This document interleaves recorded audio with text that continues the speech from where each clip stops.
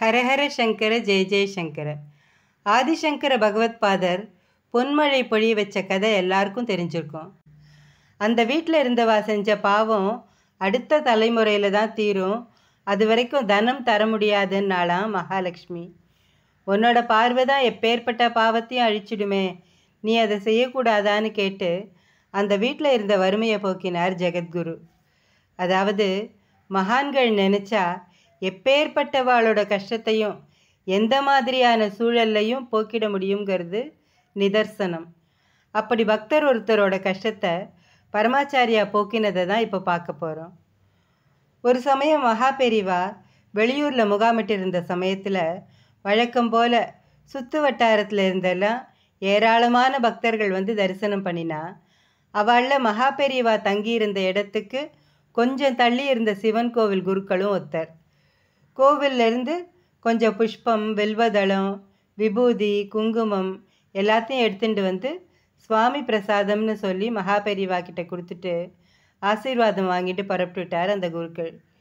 இது நடந்து ரெண்டு நாளைக்கு அப்புறம் பிரதோஷம் வந்தது. அன்னைக்கு சாயந்தரம் நாலு மணி இருக்கும். எந்த முன்னறிவிப்பும் இல்லாமல் தரிசனம் தந்துட்டு இருந்த இடத்துலேருந்து மகாபெரிவா எழுந்துண்டு எழுந்துட்டு வெளியில் இறங்கி நடக்க ஆரம்பிச்சிட்டார். எங்கே போகிறார் எதுக்கு போகிறாருன்னு மடத்து சிப்பந்திகளுக்கே தெரியாததுனால எல்லாரும் அவசர அவசரமாக அவர் பின்னால் ஓடினா பரமாச்சாரியா நட அவ்வளவு வேகம். என்னவோ காரணம் இருக்குன்னு பக்தர்களும் சேர்ந்து நடந்தா. மளமளன்னு நடந்த மகா பெரியவா பக்கத்தில் இருந்த சிவன் கோவிலுக்குள்ளே நுழைஞ்சார். அவரை கொஞ்சமும் எதிர்பார்க்காத கோவில் குருக்கள் அவசர அவசரமாக வரவேற்க ஓடி வந்தார். அதெல்லாம் இருக்கட்டும் பிரதோஷ காலம் ஆரம்பிக்க போகிறது நீ பூஜையை ஆரம்பி நான் முழுக்க இருந்து பார்த்துட்டு போகிறேன் அப்படின்னு சொன்ன பரமாச்சாரியார் சுவாமி சந்நிதி நேராக தெரிகிற மாதிரி ஒரு இடத்துல நின்றுண்டார் ஏற்கனவே மகாபெரிவா பின்னாடி வந்த கூட்டம் அங்கே நிறைஞ்சிருந்தது.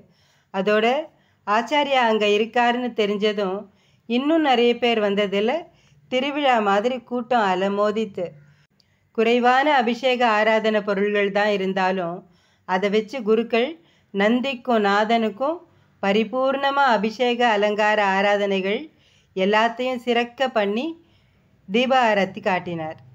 ஆரத்தி ஜோதியை இருந்த இடத்துல இருந்தே தரிசித்தார் மகாபெரிவா. வந்திருந்த கூட்டம் குருக்கள் காட்டின ஆரத்தியை தொட்டு கும்பிட்டுட்டு தீபத்தட்டில் தட்சிணையாக காசு போடவும் ஆரம்பித்தா கையில் இருந்த சில்லற காசுகளை சிலர் போட்டா இன்னும் சிலர் பெரியவா பார்த்துட்டுருக்காருங்கிறதால பத்து இருபதுன்னு ரூபாய் நோட்டுகளை போட்டா. எல்லாம் முடிஞ்சு வந்திருந்த வாளுக்கு பிரசாதம் கொடுக்க ஆரம்பித்தார் குருக்கள். முதல் பிரசாதமாக விபூதி வில்வம் புஷ்பத்தை மூங்கில் தட்டில் வச்சு மகா பெரியவா கிட்ட கொடுத்தார். மென்மையாக அவரை பார்த்து புன்னகைச்ச மகாபெரிவா என்ன உன்னோட மனோரதம் பூர்த்தியாச்சா? இனிமே எல்லாம் குறையில்லாமல் நல்லபடியாக நடக்கும் அப்படின்னு சொன்னார். அவர் சொன்னதை கேட்டதும் குருக்களுக்கு அப்படியே கை நடுங்க ஆரம்பிச்சிடுத்து. கண்ணிலேருந்து ஜலம் அருவியாக கொட்டித்து பகவானே நான் மனசுக்குள்ளே நினச்சது உங்களுக்கு கேட்டுடுத்தா? அப்படின்னு கேட்டுட்டே மெய் சிலிர்த்து நின்னார். பதில் எதுவும் சொல்லாமல் மௌனமாக புன்னகைச்சிட்டு கோவிலை பிரதட்சிணம் பண்ணிட்டு புறப்பட்டார் ஆச்சாரியா அதுக்கப்புறம் அங்கே இருந்தவா எல்லாரும் குருக்கள் கிட்ட என்ன நடந்ததுன்னு கேட்டா ரெண்டு நாள் முன்னாடி மகாபெரிவாளை தரிசனம் பண்ண வந்தப்போ அங்கே இருந்த கூட்டத்தை பார்த்தேன். பரமேஸ்வரா இந்த கூட்டத்தில் பத்தில் ஒரு பங்கு கோவிலுக்கு வந்தால் கூட உன்னை நன்னா வச்சுக்கலாம்னு மனசுக்குள்ளே நினச்சிட்டேன் சாக்ஷாத் சர்வேஸ்வரன் கிட்ட தான் நான் அப்படி வேண்டின்றேன். அந்த பகவானும் நானும் வேற இல்லைங்கிறத உணர்த்துற மாதிரி இங்கே இத்தனை கூட்டத்தையும் அழைச்சிட்டு வந்து திருவிளையாடல் நடத்திட்டு போகிறார் மகா பெரியவா.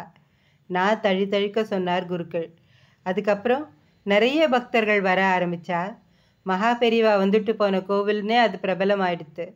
மகா பெரிவாளோட பாதார விந்தங்களே சரணம். ஹரஹர சங்கர ஜெய ஜெய சங்கர. காஞ்சி சங்கர காமகோட்டி சங்கர.